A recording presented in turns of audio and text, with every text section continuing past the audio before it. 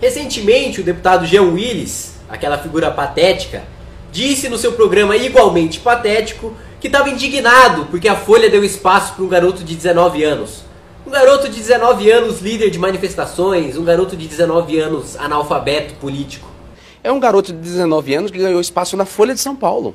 A Folha de São Paulo deu espaço para um garoto de 19 anos, que é o mentor intelectual desse movimento, é um analfabeto político, que defende o Estado microscópico e, e toda essa ideologia ultraliberal. Mas eu te pergunto, Jean Willis, que moral tem um deputado que diz defender os negros, que diz defender os gays, mas ao mesmo tempo idolatra Che Guevara? Ao mesmo tempo se veste de Che Guevara, se fantasia de Che Guevara. Você sabia que se você estivesse lá na Revolução Cubana, com Che Guevara, com Fidel Castro, você seria fuzilado simplesmente por ser gay? Você sabe disso, né, Jean Willis?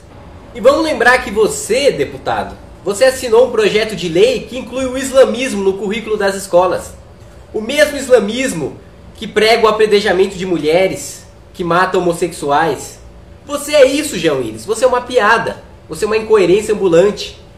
Você no Twitter xingou um opositor de negro gordo. Chamou ele de forma pejorativa.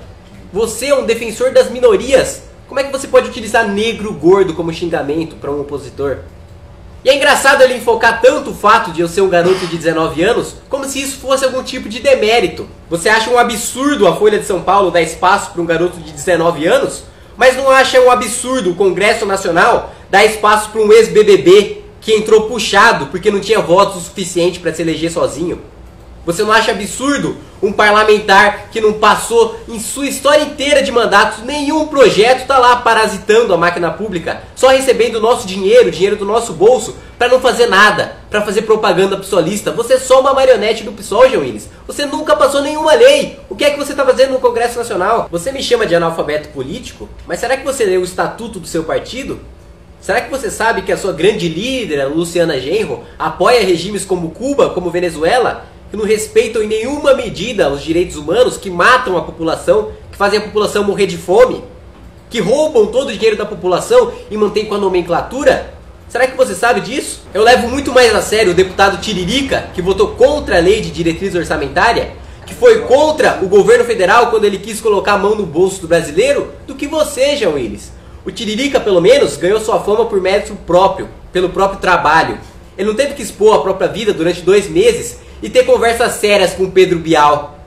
Eu sou analfabeto político, mas eu te convido para um debate. Eu te desafio para um debate sobre república, sobre modelos econômicos.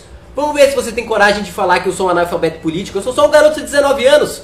O que, que você tem a temer? Por que, que você recusaria um debate? Vem, me dá uma surra intelectual, você que é esse ser iluminado. Vamos lá, Gil Willis, eu te desafio. Pode ser por escrito, pode ser ao vivo, pode ser por vídeo, você decide.